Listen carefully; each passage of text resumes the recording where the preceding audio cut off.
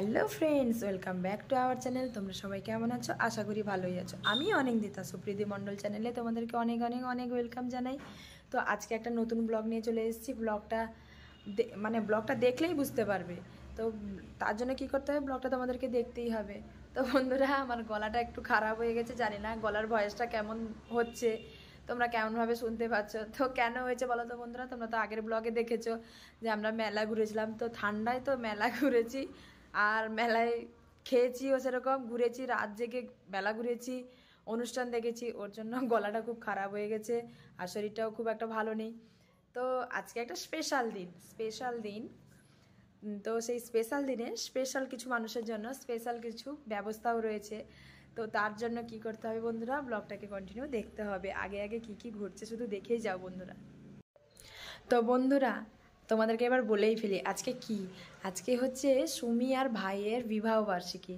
তাদের তিন বছর বিবাহ মানে তিন বছর বিয়ে কমপ্লিট হয়ে গেল, তো আজকে তাদের অ্যানিভার্সারি তো তারা কিছুই জানে না মানে সকাল থেকে কিছুই তারা জানতো না যে তাদের জন্য কি কি ব্যবস্থা আমরা করেছি। খুব একটা কিছু করিনি, সামান্য কিছুই।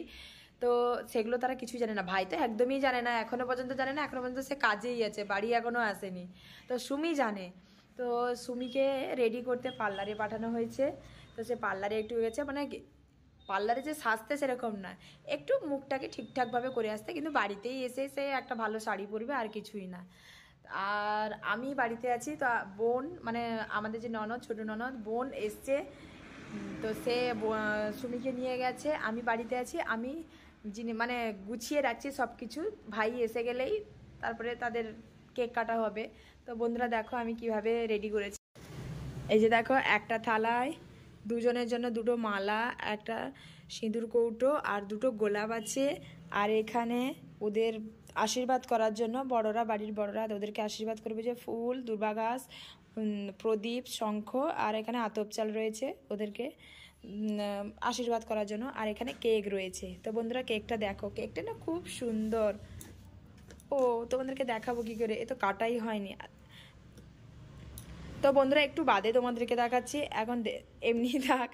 আর এখানে মিষ্টি, গুড়ের মিষ্টি রেডি হয়ে গেছে। সব কিছুই রেডি করে রেখেছি। বাকি যাদের বিবাহ বার্ষিকী ওদের আশাটাই অপেক্ষায় আছে।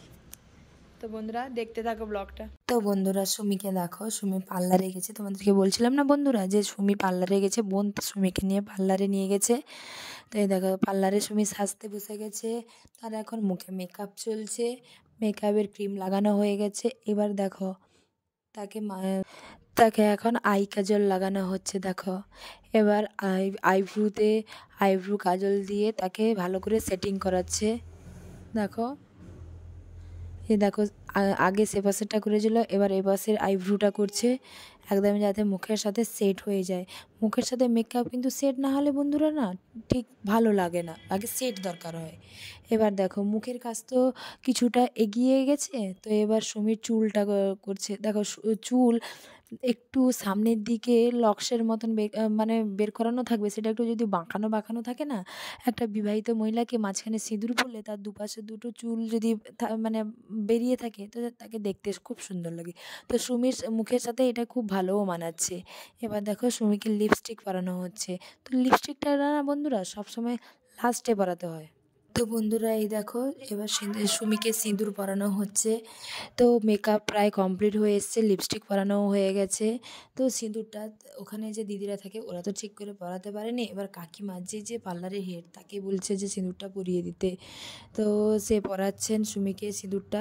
শেষমেশ সুমিই সিঁদুরটা পরলো। তার তো মুখের সঙ্গে সেট হচ্ছে না, এটা হচ্ছে না, ওটা হচ্ছে না, তার একটু খুঁত তো থাকবেই থাকবে। ওই জন্য শেষমেশ ওই সিঁদুরটাকে কমপ্লিট করছে পরে। এটাই আমি এলাম তো। এই দেখো অ্যানিভার্সারির কুইন রেডি হয়ে পড়েছে। রেডি হয়নি হাফ রেডি হয়েছে। তো তা এই তো ললিপপও রেডি হয়ে গেছে। আসলে ও বলতে চাইছে যে ছোট মা কে কাকাই বিয়ে করে নিয়ে এসছে। না ছোট মাকে আমি বিয়ে করিয়ে নিয়ে এসেছি। ও দেখেছ দেখেছ। আচ্ছা। তো এতটুকু রেডি হয়েছে আরও বাকি আছে। দেখি একটু এদিকে ঘোরো।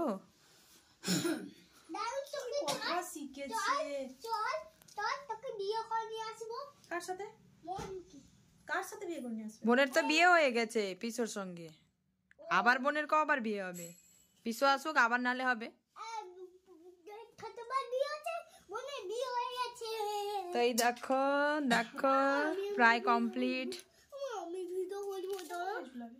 এই দেখো বন্ধুরা, ভাই চলে এসছে। ভাই একটা নতুন জামা প্যান্ট পরেছে। এরপর দেখো বন্ধুরা, তারা দুজন দুজনকে মালা বদল করছে। তো ভাই তো মালা নিয়ে এগিয়ে গেছে। সুমি মালা বের করাতে তার সময় লাগছে। আবার তার চুলের চুলের সঙ্গে আর কানের সঙ্গে আটকেও যাচ্ছে। দিয়ে বোন আর আমি গিয়ে ঠিক করে দিলাম। তারপর শেষমেশ বের করালো। এরপর দেখো, একে অপরের দিকে মালা পরিয়ে দিচ্ছে একে অপরকে।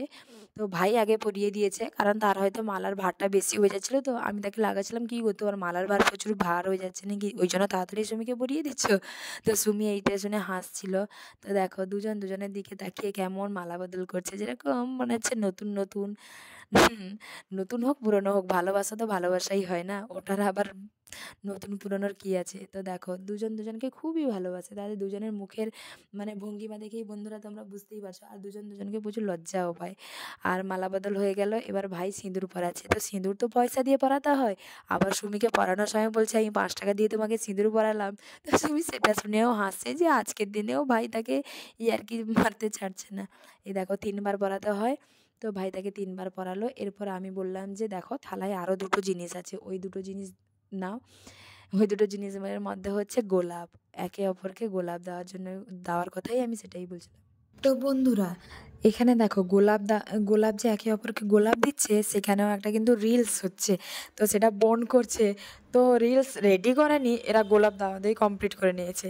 তো সেই জন্য বোন বলছে, আরেকবার আরেকবার ধর, আরেকবার ভাইকে বলছে, আরেকবার তুই গোলাপটা দে, সুমিকে দে, সুমিও ভাইকে। তো দেখো দুজন দুজনকে দিচ্ছে, আর বোন রিলস হচ্ছে। একে একটু তো দেখতে পাচ্ছ বন্ধুরা। এই যে দেখো, দুজনকে খুব সুন্দর লাগছে না? যেরকম মনে হচ্ছে নতুন বর বউ, নতুন নতুন বিয়ে করেছে। সত্যিই খুব সুন্দর লাগছে। আর দুজনকে বেশ মানিয়েছেও বেশ ভালো। তো তাদের গোলাপ আর একটা দেখো বন্ধুরা, তাদের পেছনে কে? এ দেখো, উঁকি ঝুঁকি মারছে। তার মুখ হয়েছে পুরো বাংলা পাঁচের মতন। মানে কি যে তার রাগ হচ্ছে, ভাবছে ছোটো মার আর কাকার কি কোনো অনুষ্ঠান হচ্ছে? এই দেখো বন্ধুরা, মোমবাতিটা দেখো, পুরো ঝুরঝুরি মোমবাতি, কি সুন্দর না জ্বালাতে। ভাই তো এসবে প্রচুর ভয় পায়। দেখো তো জ্বালা, জ্বালানোর সময় ভয়ে ছিটকে গেছে। দেখো দুজন দুজনের কেক কাটছে, আর এখানে এ দেখো ফাটানো হচ্ছে। আর আমি স্প্রে করছি, বোন সেখানে ক্যামেরা করছে। দেখো দুজন দুজনের হাত ধরে কেক কাটছে, একসঙ্গে চলার পথ এভাবেই চলবে। এবারে মনে হচ্ছে ভাই কেকটা সুমিকে খাওয়াবেই ফার্স্টে দেখো, সত্যি সত্যি বন্ধুরা, ভাই সুমিকে কেকটা খাওয়াচ্ছে। এবার সুমিও ভাইকে কেক খাওয়াচ্ছে। আর আরেকজন লোভিকে দেখো লোভি দেখেছ? পাশ থেকে হুমড়ি খেয়ে আছে।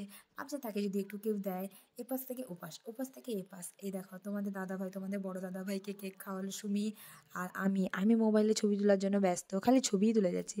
সেখানে বোন অনেকে ধরে দাঁড়িয়ে আছে। ছবি তুলছে। ও দেখো মা দাঁড়িয়ে আছে। আর বড় দাদা ভাই দাঁড়িয়েছে আর আমাদের শ্বশুর মশাই মানে এখানে দেখো বাড়ির সবাই আছে পুরো ফ্যামিলিটাই আছে কিন্তু একজন শুধু মানে কম লাগছে কে মশাই আমাদের বাবু বাবুর অভাবটাই শুধু এখানে মানে অভাবটাই সবাই সবার মধ্যে পাচ্ছি। তো বাবু তো নেই বাবুকে সরাসরি তো পাবো না। সেটা ভগবান কেড়ে নিয়েছে আমাদের কাছ থেকে। সেই জন্য বাবুর ছবিটাও অন্তত আমাদের মা- মধ্যে থাকলে ভাববো বাবুও আছে। সেই জন্য বাবুর ছবিটাও দেখো আমাদের মধ্যে নিয়ে এলাম। তো মা ছবিটাকে ধরে বসছেন মার তো খুব কষ্ট হচ্ছে। সে হয়তো মুখ ফুটে প্রকাশ না করলেও সেটা আমরা বুঝতে পারি, ওর মধ্যে যে কী কষ্ট। তো কষ্টের মধ্যেও তো বন্ধুরা আনন্দকে খুঁজে নিতে হবে। এই দেখো, এবার আমরা দাঁড়িয়েছি, দেখো আমাদের ফ্যামিলি মেম্বার দেখো।